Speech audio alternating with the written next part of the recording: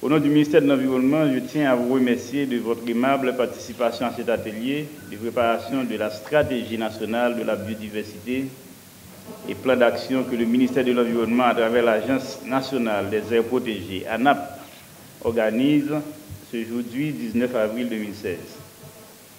Je voudrais remercier tout particulièrement le Programme des Nations Unies pour l'environnement, mieux, et le Fonds pour l'environnement mondial, FPM d'avoir rendu possible l'organisation de cet événement d'envergure.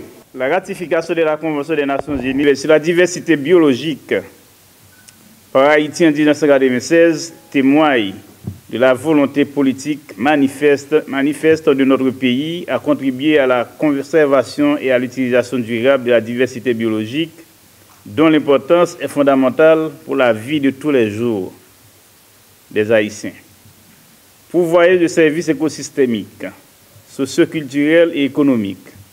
La biodiversité apporte aussi une contribution inestimable à la lutte pour atténuer les effets des changements climatiques. Cependant, nous constatons de nos jours un dramatique appauvrissement de la biodiversité du pays, accompagné de la réduction d'un grand nombre de services écosystémiques. Cette érosion de la biodiversité est due notamment au poids d'un certain nombre de forces motrices de dégradation comme la pauvreté, le rythme d'évolution et d'accroissement de la population, les inégalités sociales, les conditions de vie de plus en plus précaires des paysans qui vivent dans et autour de nos aires protégées, etc. À mi-parcours de l'échéancier de 2020 pour l'atteinte des objectifs du plan stratégique 2011-2020, plus connu sous la qualification de cible d'Alchi, le ministère de l'Environnement s'engage, dans le cadre de l'application de la Convention sur la diversité biologique, d'élaborer une stratégie nationale et un plan d'action pour la biodiversité, SPAMB, avec le but ultime d'arrêter la perte de cette dernière à l'horizon 2020. La tâche est difficile et le projet est très ambitieux. Mais si nous conjuguons nos efforts nous arriverons certainement à atteindre ce but. J'exhorte donc les acteurs de tous les secteurs, tant publics que privés, à s'évertuer à rendre possible cette stratégie et à la mettre en œuvre en tant qu'instrument pour l'intégration efficace des objectifs de la diversité biologique aux politiques et stratégies sectorielles de développement et de réduction de la pauvreté. L'organisation de cet atelier, dont le lancement aujourd'hui est honoré de la participation de tous les acteurs impliqués dans la protection de l'environnement, est la preuve qu'il y a une volonté réelle pour renverser la tendance à la dégradation de notre environnement. Je vous invite à apprécier les efforts de l'Agence nationale des aires protégées, ANAP, qui a la mission, entre, entre autres, de protéger la biodiversité et de gérer le système national des aires protégées, SNAP.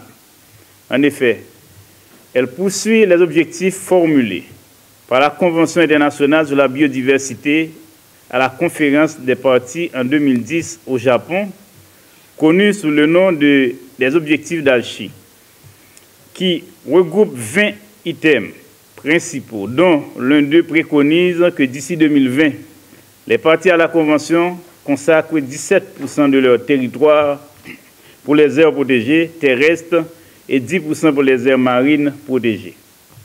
En outre, le MDE s'apprête à intégrer le Caribbean Challenge Initiative, CCI, qui recommande que d'ici 2020, les pays membres possèdent 20% de leur territoire en aires marines protégées. Actuellement, la NAP s'implique dans une dynamique d'élaboration de plans de gestion et de mise en place des structures de gouvernance au niveau des, des aires protégées en vue d'en assurer une prise en charge réelle grâce aux efforts engagés à partir de 2012. Les aires protégées terrestres sont passées de nos jours à 4,03% et les aires marines protégées à 4,02%.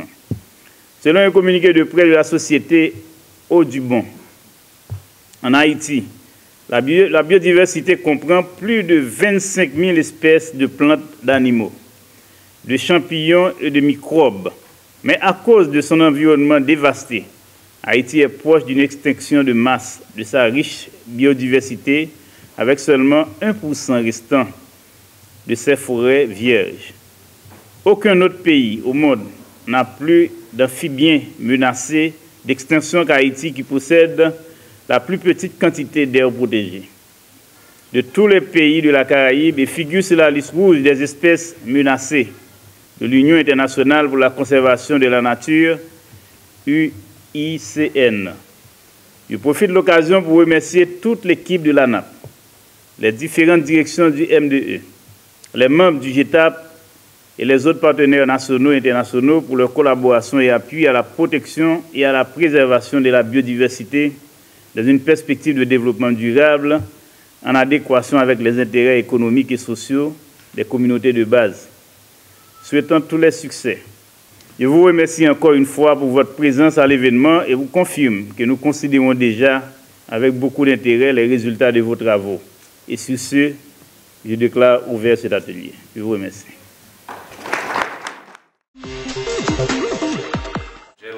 de participer à cette cérémonie de lancement des travaux de préparation de la stratégie et du plan d'action national euh, de biodiversité ainsi que la présentation du cinquième rapport national de biodiversité pour réitérer l'engagement de PNUE à continuer à accompagner le gouvernement d'Haïti euh, dans ses efforts en vue d'assurer une meilleure prise en charge le PNUE est en train d'appuyer les pays à actualiser leur stratégie euh, de biodiversité. Dans la même veine, euh, nous réjouissons à l'idée qu'aujourd'hui sera présenté le cinquième rapport national de biodiversité, qui est aussi une exigence de la CBD. Nous espérons que ce document sera bientôt finalisé et soumis au secrétariat de la Convention. Toutefois, au-delà de l'aspect contraignant que se revêtent ces instruments pour les pays qui ont pris des engagements en signant la Convention, il s'agit aussi et surtout des documents de politique publique clés susceptibles de faciliter la gouvernance environnementale à travers les informations qu'il contient ou encore les orientations stratégiques qu'il donne. À cet effet, le PNUE est fier d'être partenaire privilégié qui travaille aux côtés du gouvernement haïtien et du ministère dans les actions visant la conservation de la biodiversité. Ainsi, nous avons appuyé la déclaration de nouvelles aires protégées, notamment les premières aires marines protégées du pays. Nous continuons à travailler avec les MDE et d'autres acteurs pour poursuivre avec le processus. En outre, nous accompagnons le ministère dans le processus de dotation des aires protégées et leur plan de gestion. Le PNUE ne peut qu'encourager à poursuivre dans cette voie.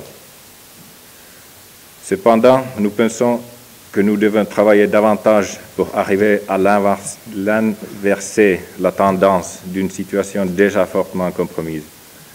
Cela passe aussi par le respect des engagements pris par le pays à travers la signature et la ratification des conventions environnementales multilatérales comme le CVD. La préparation de la stratégie et du plan d'action national de biodiversité, SPANB, et la soumission régulière des communications nationales seront à ce titre des signaux forts que le pays enverra à la communauté environnementale tant nationale qu'internationale sur sa volonté d'œuvrer de manière résolue et irréversible à la conservation de la biodiversité. En remerciant tous les acteurs ici présents qui vont participer aux travaux, le PNUE veut assurer le ministère de l'Environnement euh, de sa ferme volonté de continuer à l'accompagner dans ce processus de préparation du SPANB et de finalisation du cinquième rapport national de biodiversité. Nous formulons le vœu de voir se mettre en place un processus de préparation qui soit ouvert et participatif. Puissent les travaux que nous lançons ce matin nous permettre d'aboutir dans des délais raisonnables à la production de la stratégie et du plan d'action national de biodiversité. Je vous remercie de votre attention. Bonne journée et bon travail.